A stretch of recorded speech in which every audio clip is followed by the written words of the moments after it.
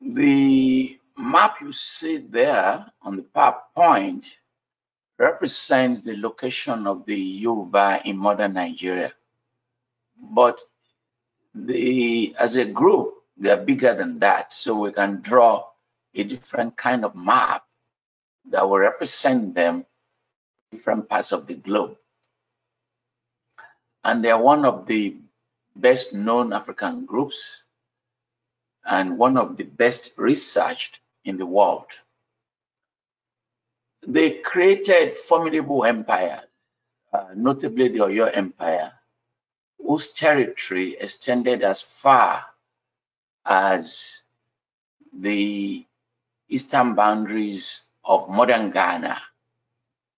And their reach extended into what you will now call four countries.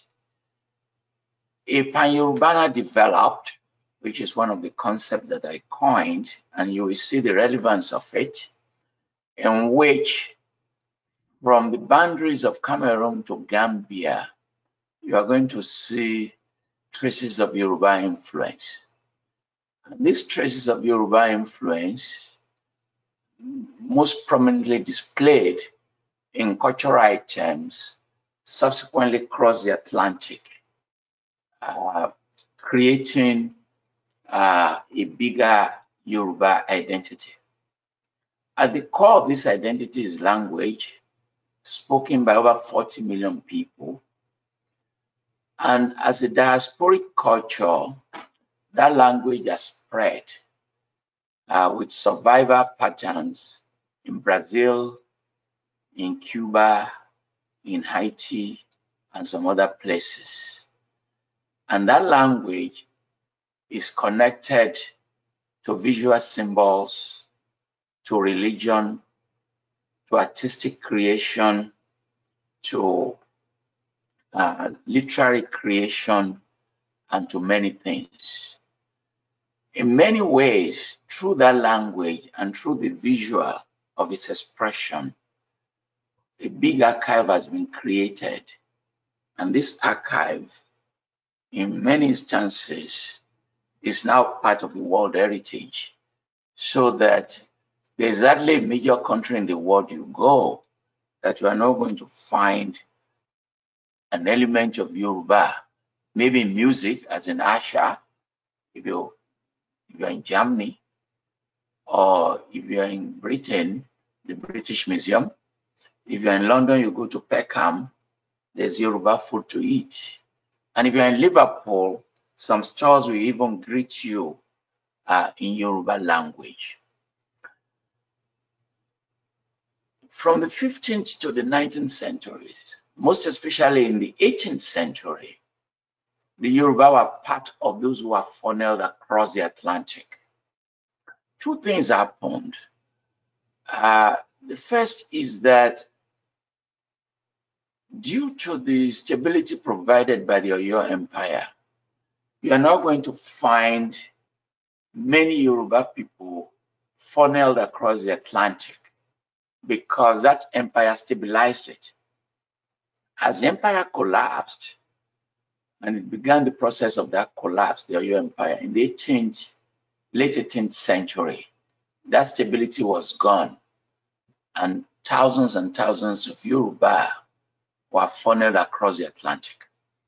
But then they became concentrated in countries like Brazil and Cuba, where they have been able to establish a dominant influence.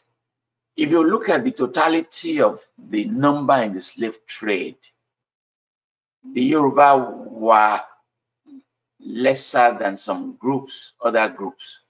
But in terms of the cultural retention, uh, their influence is perhaps uh, the most prominent in Bahia, Brazil, in Cuba, in, in, in African cultures that spread globally in terms of the Orisha, Santeria, Voodoo, Candomblé. Some uh, of the form variety where Yoruba influence also spread. And various arguments in the study of the African diaspora, various arguments in the study of the Black Atlantic. Various studies in the study of Atlantic history rely on the Yoruba data in terms of the arguments on the roots of consciousness, the roots of the African diaspora, in terms of the construction of Africanity, Africanism, um, African consciousness, whether it is the one by Cheikh Anta Diop or the one by Asante, you find the insertion of the Yoruba into it. And there is tremendous cultural awareness in the age of globalization in which the Yoruba data is there. Nollywood, the third biggest film industry in the world today, following Bollywood and Hollywood, uh, has so many Yoruba elements. Today, if you fly British Airways, Lufthansa, if you click on World Cinema, you are going to find one Yoruba film or the other. Or if you go on Netflix, you are going to find a Yoruba film. If you click on Netflix today, you are going to find a major movie called Nimbe, uh, which shows you the continuity of this culture. To those of us who study transnationalism, the concept of home and the homeland, the Yoruba data is very much embedded in what we do. And you can see many African, uh, sorry, many universities in the West now are teaching Yoruba language as part of uh, the relevance of this culture, the people. That is an introduction to this book that I'm talking about uh, and how this book shapes some of the conversation uh, that I've, I've spoken about.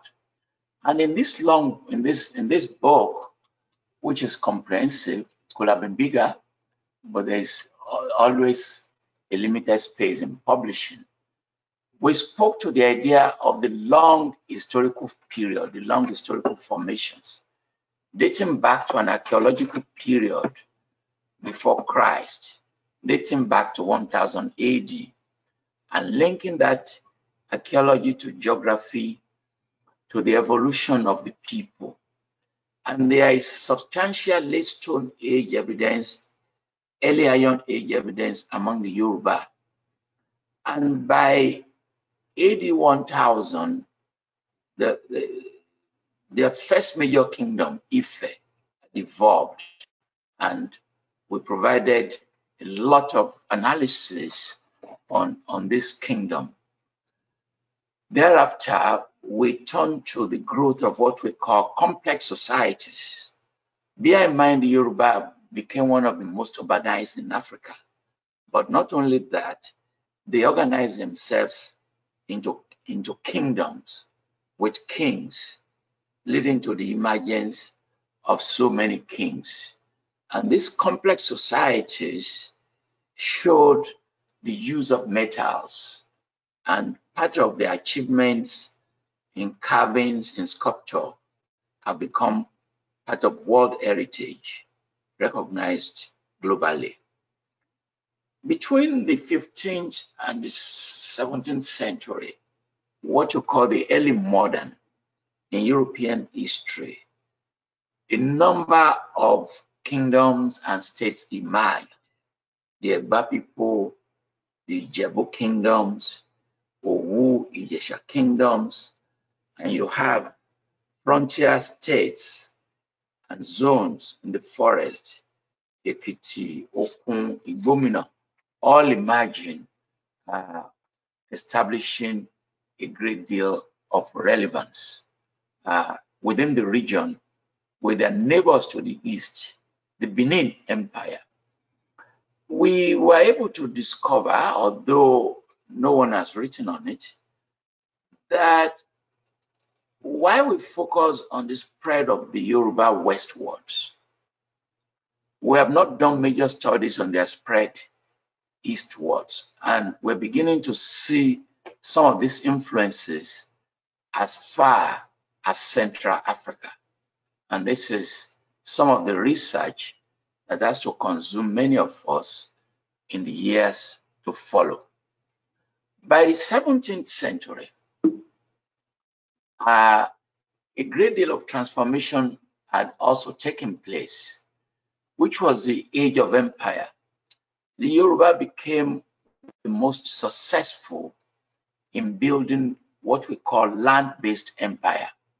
Land-based empire relied on your capacity to create an economic basis of power, to develop a land army, and they were able to develop an operate land army based on the use of cavalry. But underpinning that army was an extensive, elaborate agrarian economy that produced massive surplus to generate tremendous wealth.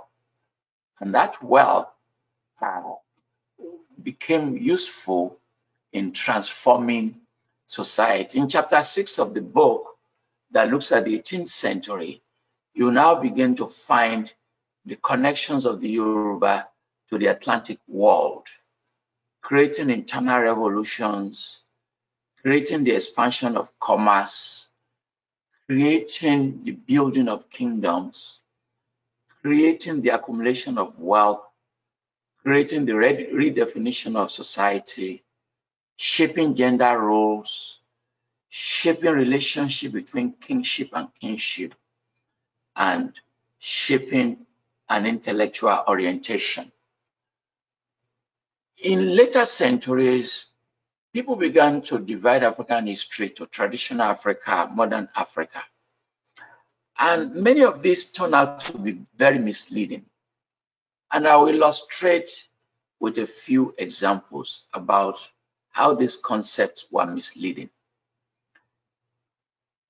By the 17th century, many of what you call uh, European traditions had spread to parts of Africa. People were surprised when they discovered that there were already French bread in parts of the Yoruba Empire and Benin Republic by the 17th century. They were surprised to find European objects. And archaeologists in Ghana were also surprised to find it from China. The, the, that empire in the 18th century, its outreach was so extensive that goods came as far as North Africa and it, it, it inserted itself not just into modernity, but into global forces. And by so doing, was able to become part of a larger global cultural exchanges.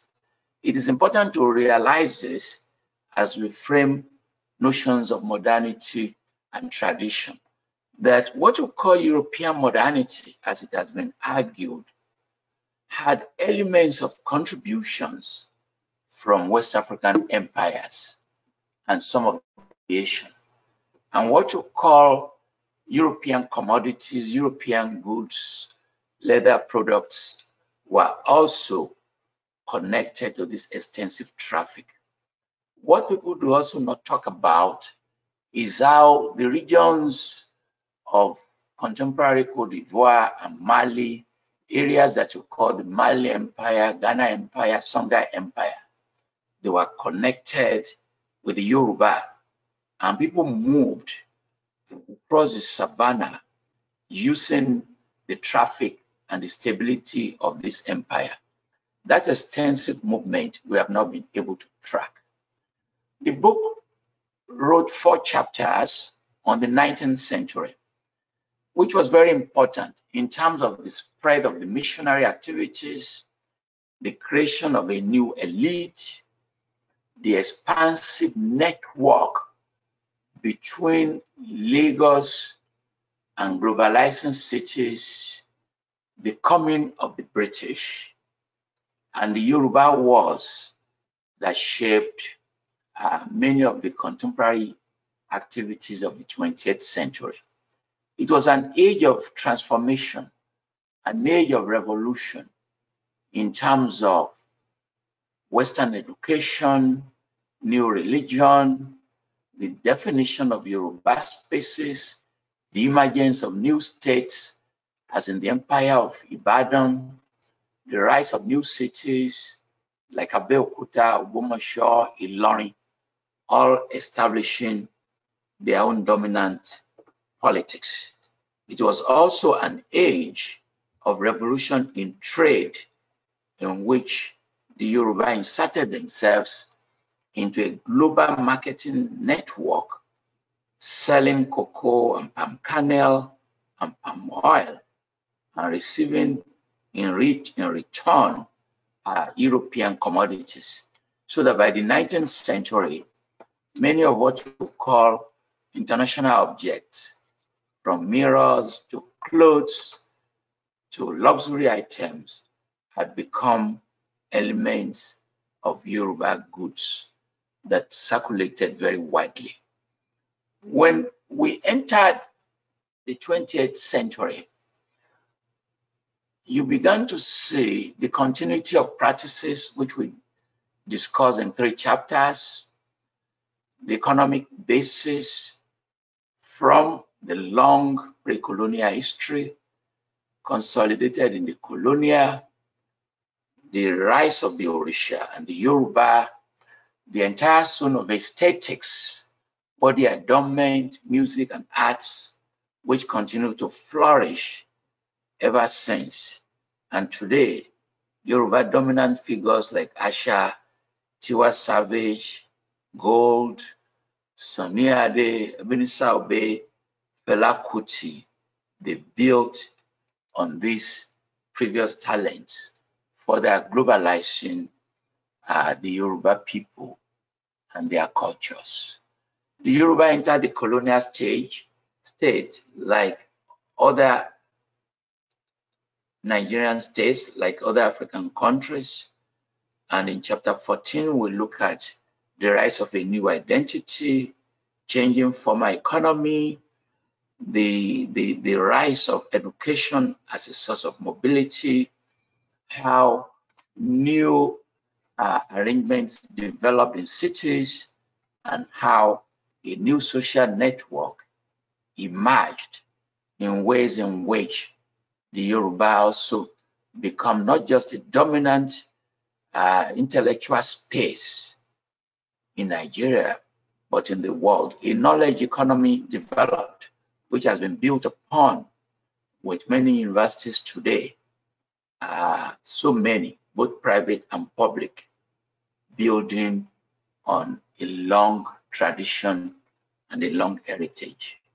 The post-colonial period, which closes the book, looks at the struggles for power in Nigeria, the politics of federalism, the struggles among the elite, the desire to have Yoruba to become the presidents of the country, the troubles and tribulations, various elections. In all these struggles, major figures emerged, uh, dominating the political space. Uh, the Yoruba became part of the central issues, central people in the politics of modern Nigeria. Uh, in in all the major arguments that involve federalism, secession, consolidation of power, you find the Yoruba being represented. And the politics in this, in federal Nigeria, began to shape uh, Yoruba identity and began to lead to new conversation about whether they should create what they call an Oduduwa Republic in modern Nigeria. Um, there have always been uh, arguments and conversation as to whether the Yoruba should remain in Nigeria or as to whether we should create their own country. That modern politics remains with us.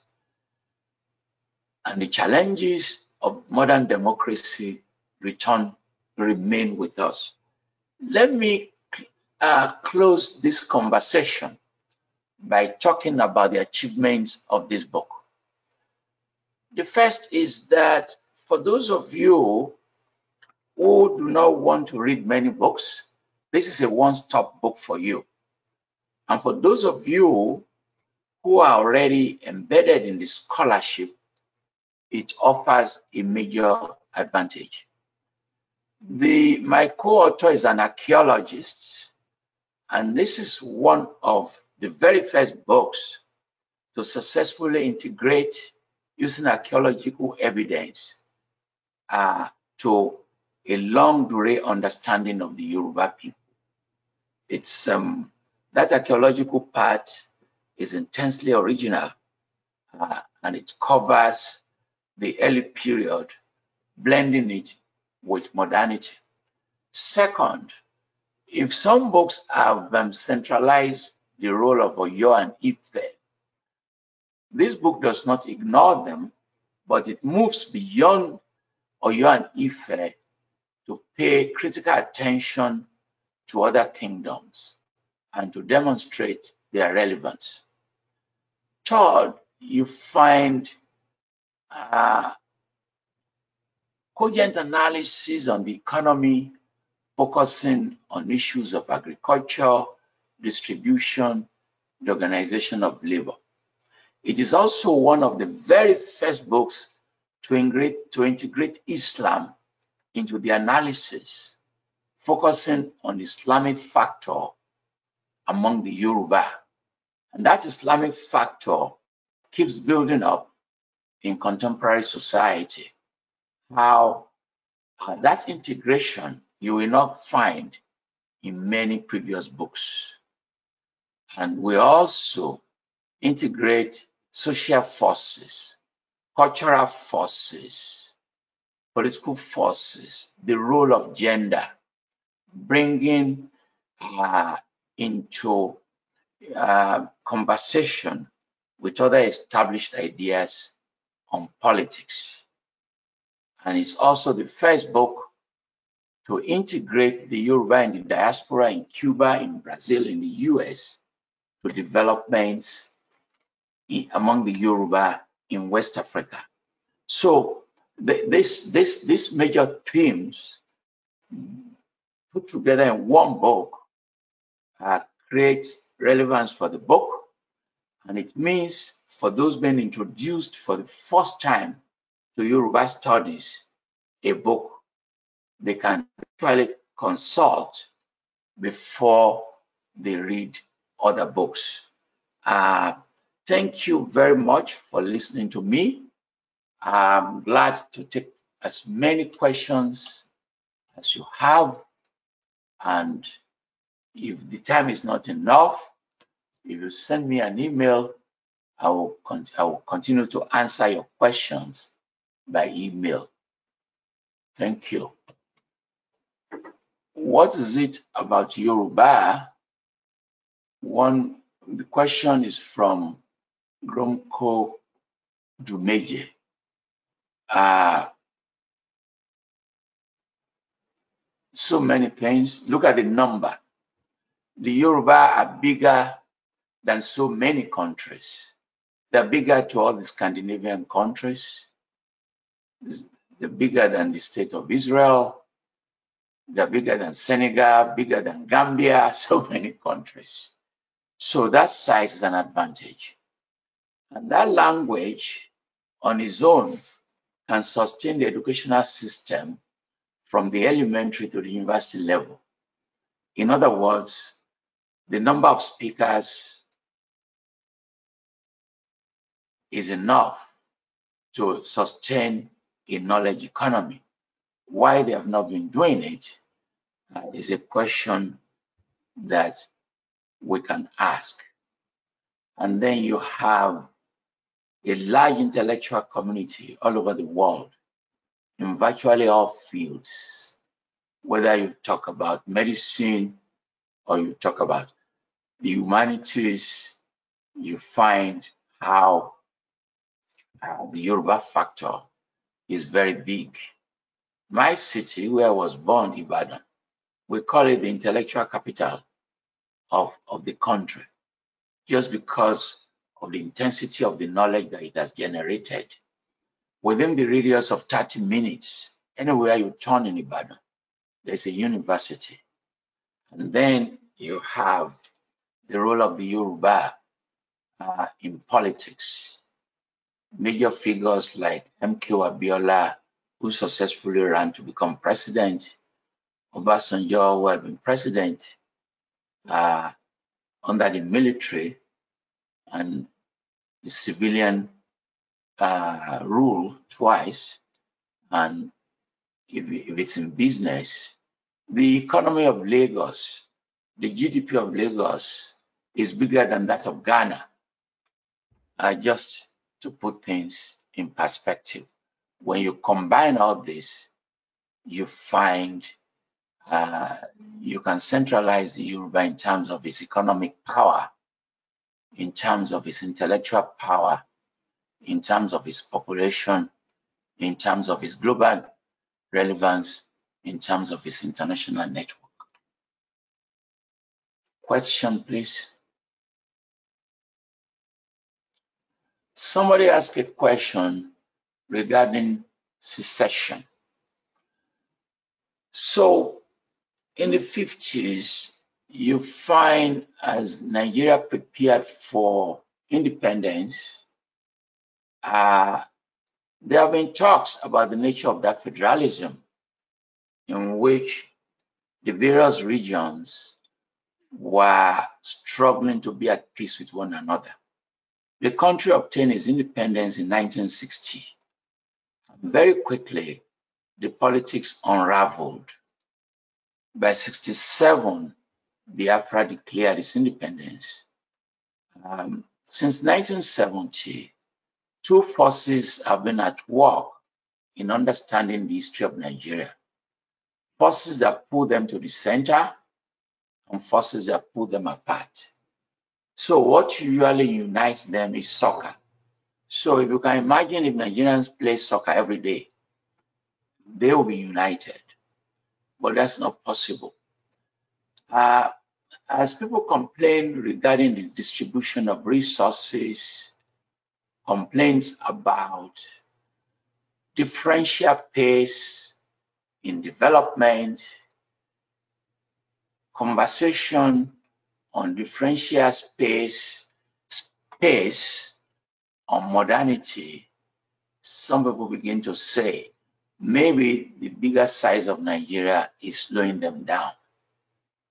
And in the last few years, because of various crises, the Boko Haram in the Northeast, the activities of the herdsmen, insecurity in the country, people come up with the argument that is it not possible for each part of the region to go alone?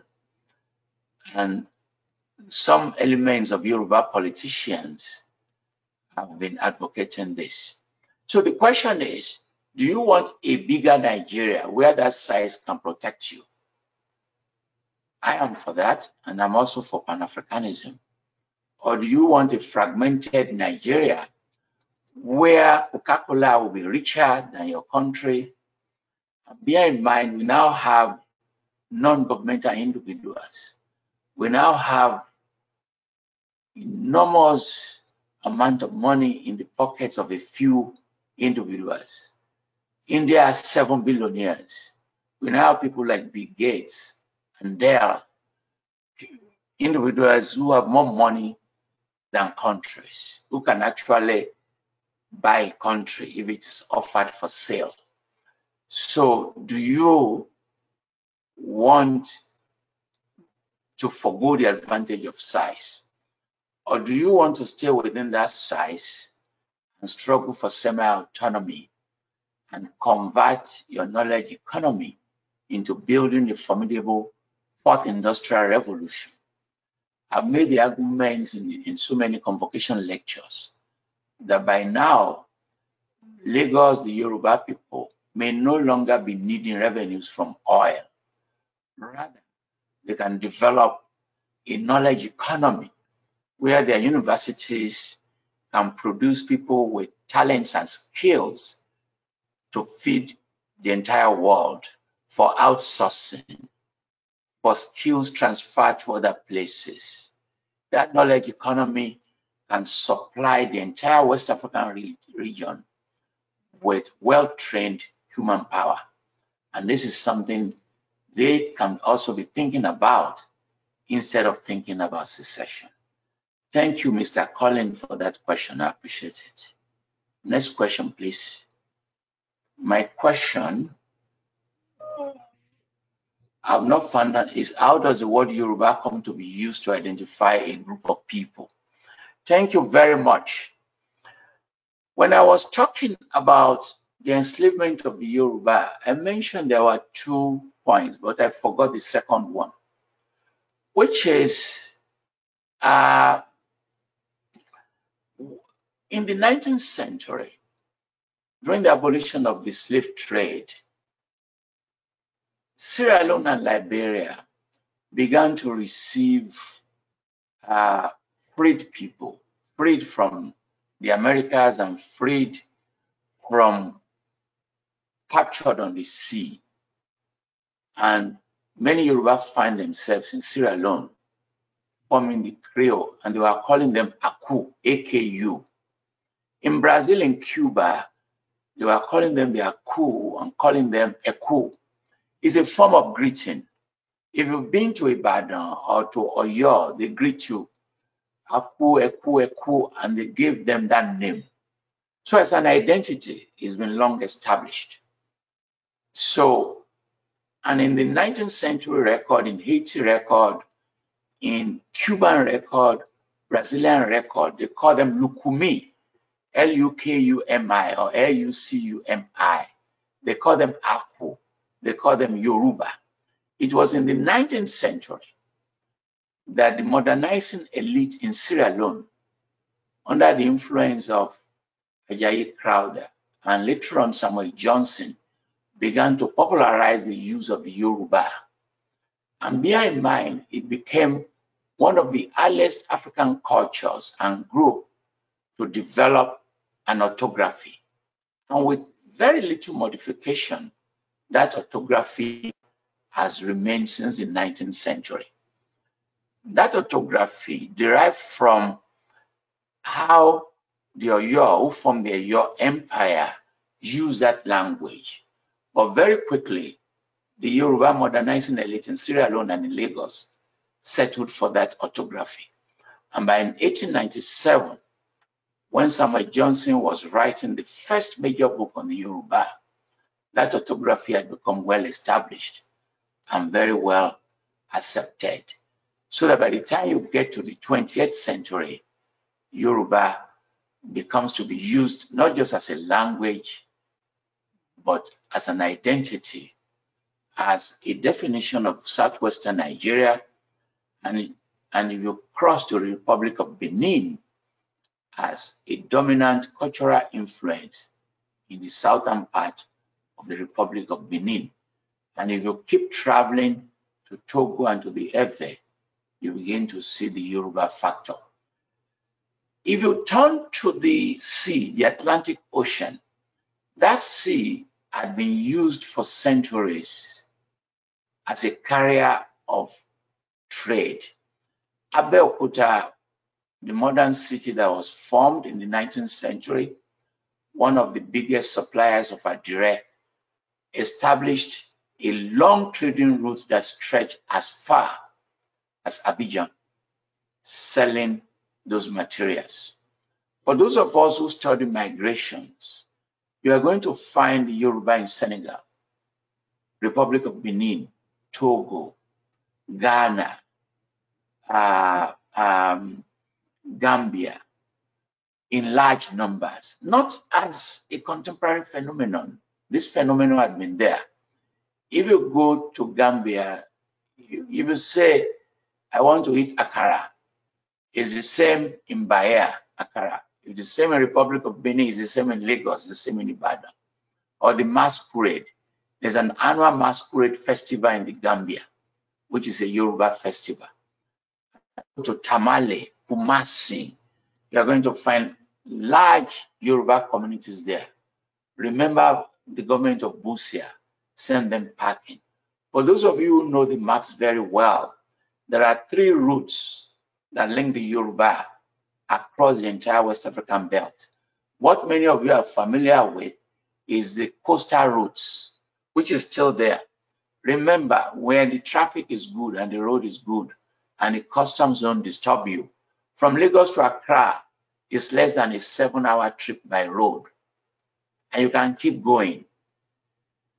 You can keep going. In the 60s, 70s, the major singers, Haruna Ishola, Yusuf, rich people in Abidjan in Cote d'Ivoire, when they wanted to do a wedding, naming ceremony, their birthdays, they sent for bands in Lagos, Abeokuta to play for them. Then there's the Savannah Road, which you can use.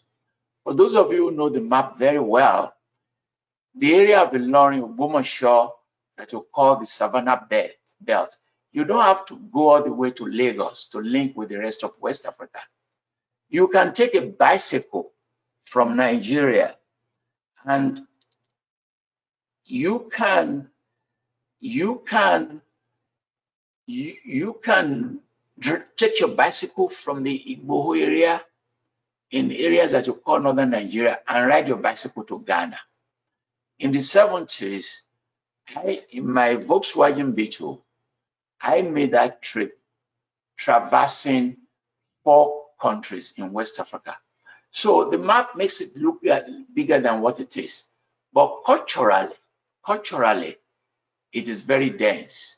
And when next you go to Lagos, the traffic is bad, but if you can uh, overcome the initial one, by the time you get to Badagry, you are going to be you're going to be seeing a complex complex society, fun, Yoruba, Awori, Egun. And if you keep traveling up until the area of Senegal, you're going to find that complexity. So that indeed, if there is a possibility to build a formidable West African regional market based on the traditions, the cultures that have been there for centuries. Thank you. Next question, please.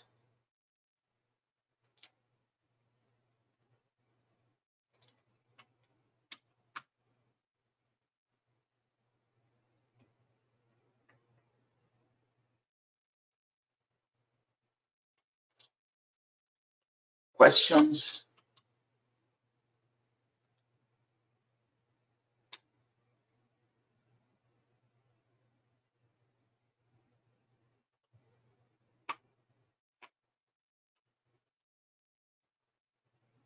Questions?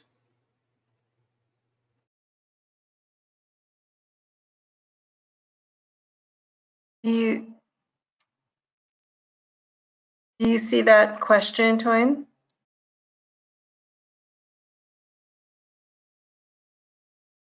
No, the last question that I saw is the one that I answered. How does the Yoruba? Scroll, would you like to scroll down? Um, can you scroll down? This one starts, what exactly is the import? Oh, the import of Islamic factor. Thank you very much. Uh, I'm very grateful. So the the Yoruba people are divided by religion. It is not a one zone uh, one zone group. And I will use myself as an example. I come from Christian families, but on my mother's side, they were Muslims. And they still Muslims. My grandfather was a pastor, a church pastor, but his wife was a Muslim. I hope you're listening very carefully. When they were looking for a child, it was very difficult.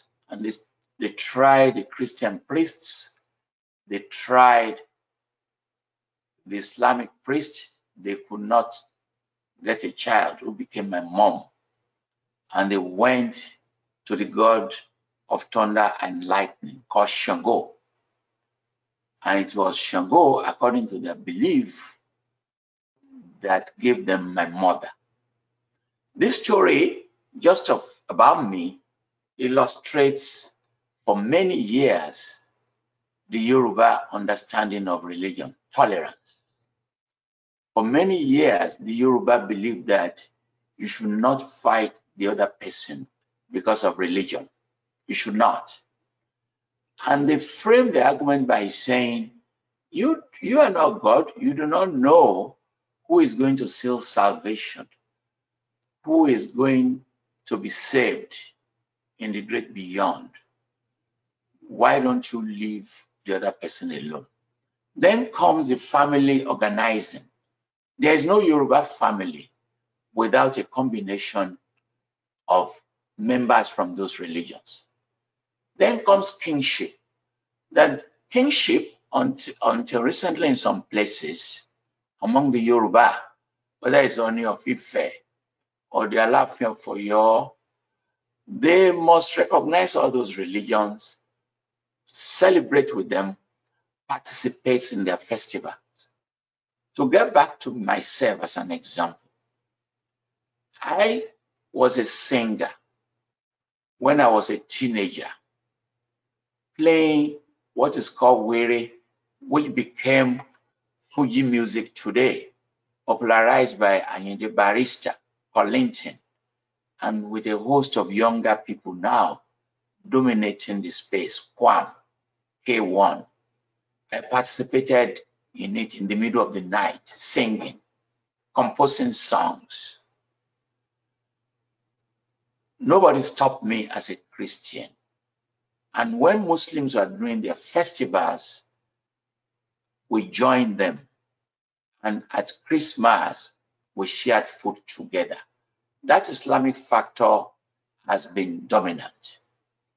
And you find zones like Ibadan, Ede, in your question, I think by Jacob Babajide, you find how the impact of Islam is major. The European Union funded a major research of which I was a member of the board,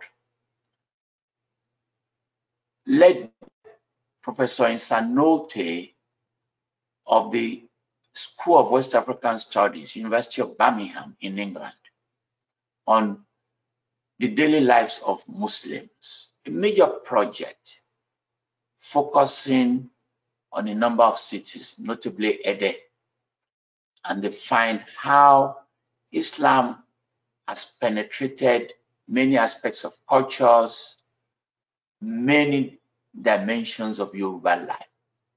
But it's not a new phenomenon. Islam has been coming, moving peacefully to the south. Remember, the Yoruba word for Islam Imale, some people will say it means religion that came from Mali.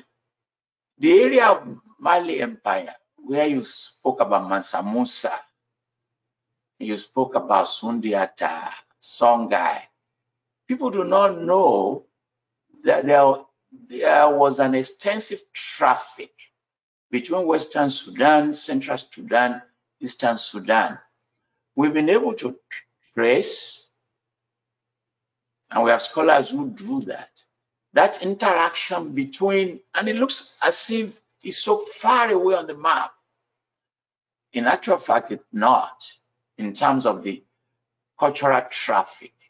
Islam has been coming from that area of the Western Sudan. And people will speculate that the Yoruba word for Islam Imale is simply means Mali.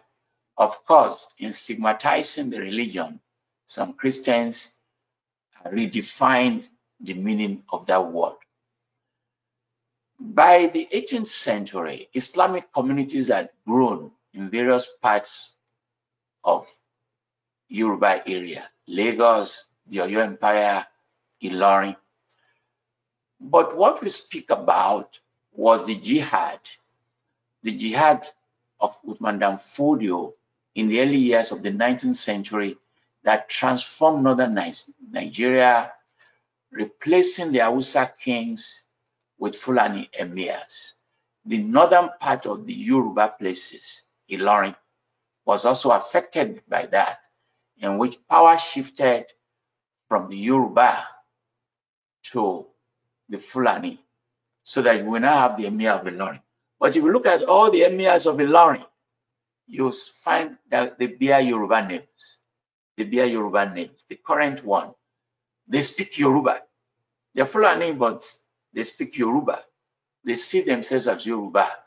If you see the, the, the prominent member of the Buhari administration now, Ibrahim Gambari, who is from Ilorin, he speaks Yoruba. His name is Abuola. There are many like that. And that Islamic factor has remained. What is creating problems today is how uh, aggressive conversion, the rise of fundamentalism, the rise of Pentecostalism is creating a wide range of challenges and conflicts in religion. And it is something that people should talk about and they should prevent the rise of conflicts in the region. Thank you for that question. Uh, the question from Remishunaya is that the, is that the Islamic factor from her? How do you see the future of Yoruba culture and the language against? This is from Dr. Kole Odutola. Thank you very much. Thanks for the question. And people will, will never stop asking this question. And people are worried. They are worried because now we have Yoruba or just Yoruba names. That's one that is there. They are worried because there are thousands of Yoruba in the diaspora. They bear Yoruba names. They are worried because even in Lagos or Ibadan, among the Yoruba, children born in Nigeria, Republic of Benin, who speak only English or French, they are worried about that. And they are worried about the fear that the language can go into disuse. And why are they worried? because we have endangered languages. We already have a number of African languages that are endangered. And the United Nations, UNESCO, they are worried about all of that. But they are also worried about issues around culture. And on this, there are new opportunities and there are fresh challenges. As to new opportunities, people should appreciate the expansive role of technology in the preservation of aspects of culture. I mentioned Nollywood some time ago. It is actually Nollywood and that technology, they are contributing to cultural retention. People should appreciate uh, interest in the languages in universities, in schools. Western universities. That is ongoing. And people should appreciate that that number is very protective. You can't just have 40 million people and their language will become extinct. Having said that, there's a lot of work to do. One is to go back to Cuba, Brazil, Haiti, and begin to study many of what they've done in terms of cultural retention, begin to study many of what they have done in terms of integrating Yoruba religion and culture into modern practices. Although things like divination moved from the Yoruba across the Atlantic to Brazil to Cuba, we have so many things to learn from them. Second is the fusion, which we attempted when I was teaching at the Obafemi Awolowo University. In fact, the university bought a Yoruba house in Brazil. And you find uh, Verger, Nascimento, Olabiyi Yai, all of them are fusing these transatlantic Atlantic connections. We have to return to that. One day, Abibola started the Orisha Day. We have to empower that. A third is to create powerful academic, intellectual, cultural, activist interest in the promotion of languages. Also remember, in the 70s, the University of Ife pioneered the teaching of Yoruba in schools.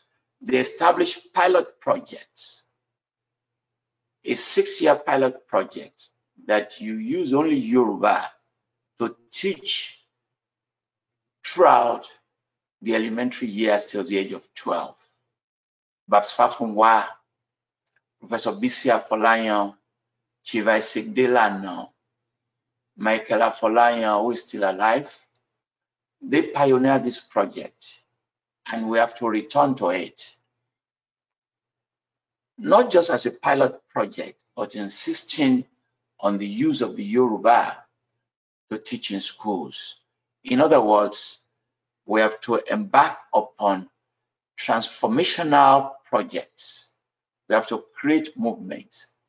But in this, we have to appeal to Pentecostalists, to Christians, some of who are among us. Years ago, we used to have a prominent politician by the name of Bola who became the Attorney General of Nigeria. He was the governor of my state. He was a major figure. And we tried to revive an annual Yoruba festivals. We held a series of meetings.